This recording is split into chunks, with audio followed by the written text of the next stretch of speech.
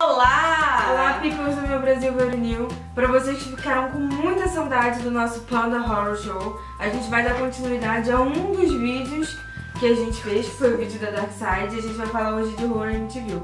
Mas antes disso, Marina terá o seu momento aqui de, de- dos reclames do Plim Plim. Gente, a gente ganhou vários presentinhos lindos em novembro e dezembro.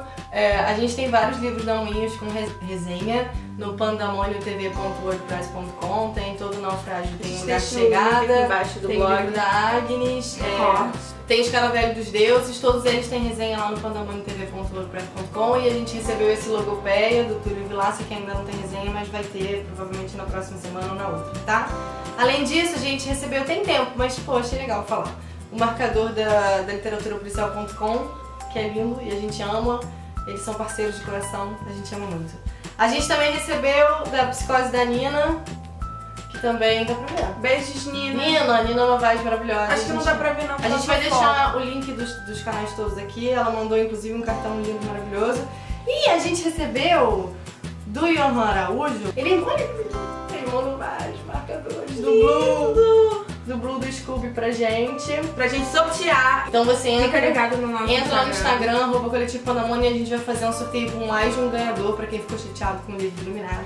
E ele deu os presentes pra gente. Pega ali o outro também. Olha que coisa linda. Cara, é lindo. A gente vai pegar todos que a gente ganhou. Ai, a gente ganhou dois pra cada. E eu amo. E a gente ganhou é, essas duas ilustrações dele Cheguei. também. Essa aqui é incrível. Essa aqui vai pra parede. Freud. Aqui, Freud. Sigmund Freud, é, aqui. E ele deu dois pra cada e a gente vai sortear também uma ilustração, tá? Porque a gente achou que, poxa, não vamos ser egoístas, isso é maravilhoso. Então a gente vai sortear lá no Instagram Coletivo Pandemônio é, os marcadores Uma do ilustração Blue e e uma ilustração dele, então corre lá que, pô, isso é bem inédito. Beleza? E obrigada, obrigada a todo mundo. Beijo, Gente, gente. se Vocês quiser mandar coisa, manda que a gente ama muito. Manda tudo. Mas volta pro sombrio, pro sombrio, pro sombrio. Vem, venha para os porcos com olhos Vamos, vermelhos. Canalizar. Vamos falar de MTV. MTV é a história de uma família que se muda para uma casa. Família Lutz. várias coisas estranhas começam a aparecer. MTV tem o livro, que é da década de 70, e também tem um filme na década de 70 que pra mim é tipo. Ah, um Mas tem um, É filmes. ótimo filme. Não, tem vários filmes, mas tem o primeirão da década de 70, eu acho que é 76, não sei. Que é ótimo. Que a gente ficou muito na dúvida, principalmente Marina, porque É. eles se mudam para a cidade de Emmett, que é uma cidade fictícia Do tubarão. do Tubarão. E aí o que acontece quando essa família se muda pra casa? Porque assim, a casa foi o cenário de um assassinato macabro em que o rapazoide Robert Defoe. mata a família inteira. E eu acho que eram quatro irmãos e o pai e a mãe. É, e enquanto eles estavam dormindo, ele deu, ele atirou em todo mundo, segundo ele, porque eles estavam ouvindo vozes que ordenavam ele a matar. E daí ele chegou num bar e, desesperado, disse: Eu matei a minha família. É tipo, matei minha família e fui ao cinema.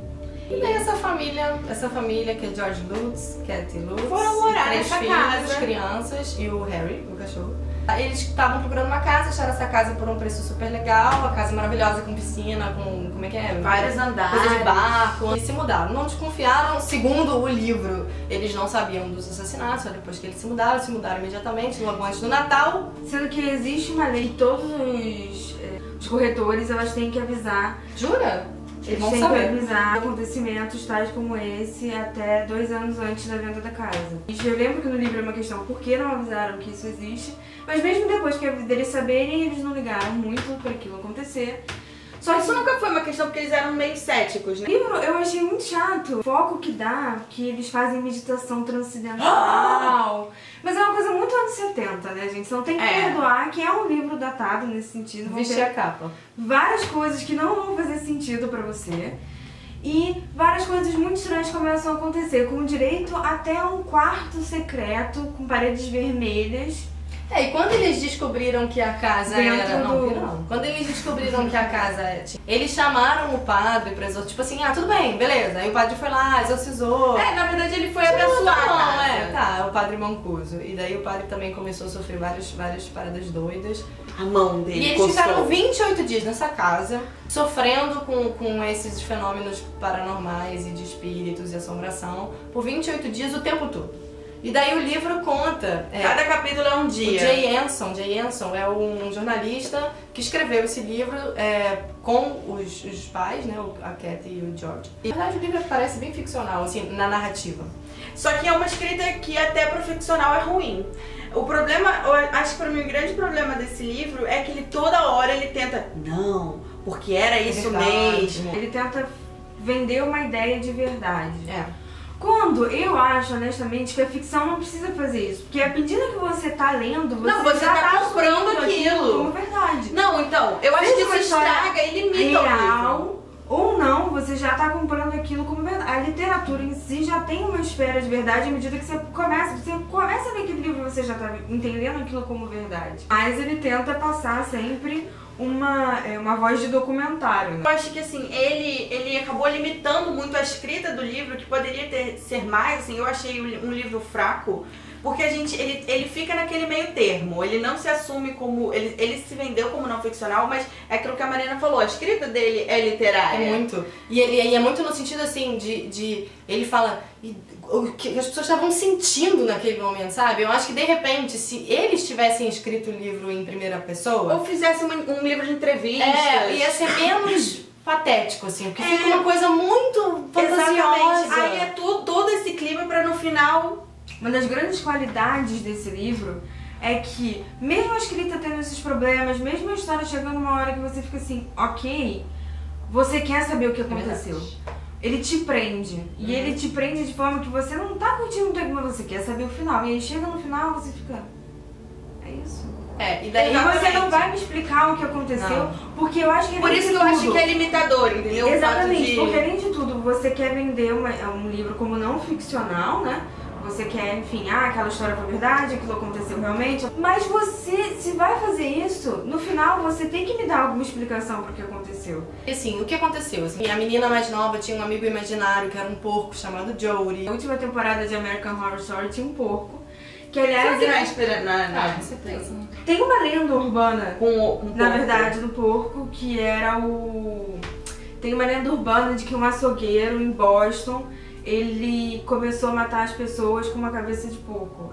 É, tinha um menino que parece que morreu na casa e ele e daí depois até acho que foi a demonologista, a moça que falou que ele não sabia que ele tinha morrido, as, por- as portas abriam, todo dia ele acordava 3 e 15 da manhã e era levado, sabe, assim, muitas coisas aconteciam, muitas Uma quebravam. teologia católica, assim, né? Tipo, as Moscas. As pragas do Ai, as Egito. moscas, Muitas moscas, tipo, É, quatro o, certas próprio, moscas. o próprio padre mesmo, com as chagas, Com chagas, né, as chagas do, do Shigmar. É uma coisa. Na verdade, assim, assim, é uma mistura de vários fenômenos, que a gente vê nos É, filmes, é, as tanto histórias é que, assim, clássicas. Quanto mais eu li o livro, eu pensava assim, cara, eu já vi isso em algum lugar. Tipo, ele acordar uma determinada hora da noite todo dia. É uma hora misturada. Daí ele via a mulher levitando. E tá tudo bem. Daí ele em cima de um, de um Cemitério indígena. É. Todo mundo adora um cemitério indígena, né, gente? Quantos índios, gente? O índio é tipo, índio é o, O que seria do Brasil, é o né? novo fantasma. Adoro. É o novo morto-vivo, né? Sim. Índio zumbi da cultura ocidental. O que me incomodou é que assim, não era assim, que ah, segunda aconteceu isso, aí no, não, era todo dia o tempo inteiro. Quem visitava, quando alguém visitava a casa ia embora rápido, o padre não queria ir na casa, chamaram um, um cientista, o cientista não chegava, Tinha uma vidente, tinha uma vidente que ir embora. É, e ele reúne quase todas as lendas urbanas, assim. Você tem diversas referências que elas não chegam a um ponto comum. Pois é, e o livro não termina quando eles saem da casa. Daí eles saem numa manhã, eles saem fugidos da casa. E o, o autor explicando o que aconteceu depois com os outros personagens, que a, os Lauren, a, o Ed Lauren e a E a Lauren, Lauren ficaram lá, dormiram lá junto com esse cientista tantas noites e ninguém chega a lugar nenhum, pra gente pelo menos. É, esse livro vendeu na época 3 milhões de cópias. Somente. Então essa família ficou vista porque eles venderam essa história pra caramba. Tem, ah, um documentário, nem sei escrever. O mais velho, ele é entrevistado, ele volta, é, tipo, tem uma jornalista que entrevista ele, daí, e assim, me incomodou muito, porque é isso, bem, bem isso, o menino falava assim, ah, eu saí da cidade porque não queria ser o menino de MTV, mas então você tá fazendo um documentário de MTV?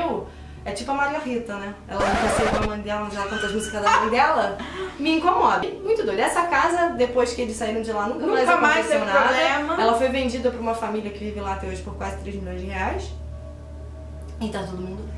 Não, e assim, E assistam né, o documentário, porque eu acho muito difícil, assim, é, tá, tá bem claro que aquela história é, é forjada, É. porque toda hora eles questionam como é que um garoto de 10 anos, tipo, que, como é que o cara lembra das coisas quando ele tinha 10 anos, se as memórias dele não foram modificadas por filme, por coisa. Gente, gente, pelo amor de Deus, né? Ele viveu numa época que a história dele virou, tipo, um, O hit do o hit. hit do, do hit. É verdade. Gente, se vocês querem saber se eu indico esse livro ou não, eu indico o Iluminado. Muito melhor, gente. Que tem vários elementos em comum. É. Eu, eu posso até deixar, posso deixar o link do que eu falei do Iluminado Claro. da MTV aqui, aqui Aham. embaixo.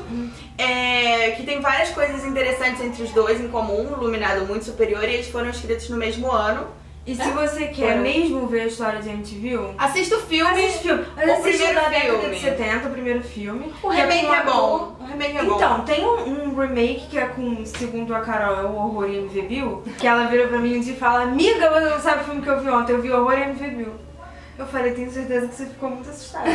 tem um remake que é com aquele moço que é casado com a Blake Lively, que agora eu esqueci, Esqueci o o nome nome dele. dele. E é bem feito, é muito bem feito o filme. Eu prefiro da década de 70, mas eu prefiro esse climinha desses filmes da década de 70. Ah, eu também. E eu, Eu acho que a adoro. casa tem muito mais vida, entendeu? É, É um bom É. caso de que o filme é melhor que o livro, né? é um bom caso, Gente, gente. todo- E ano que vem vai sair outro. Vai com sair a, com a Bela Thorne. Ah, é verdade. aí. Que vai ser depois, vai ser alguns anos depois, pelo que eu entendi, uma É. equipe de investigadores vão voltar pra casa. e- Aí quem sabe me explicam.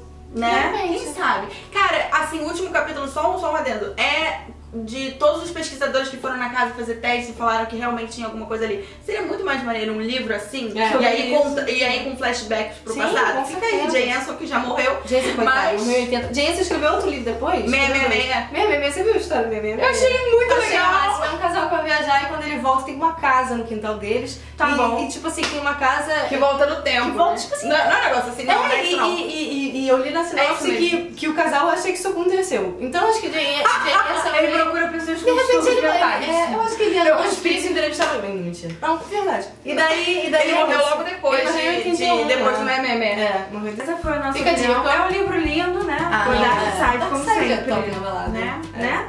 Mas, assim, ele em si... E tudo bem a editora publicar esse livro, porque Claro, é é a proposta da editora, é. mas a gente não. Tá. É. Vai ver o filme e ver o Iluminado. Lê, Beijo. lê o Iluminado. Beijos.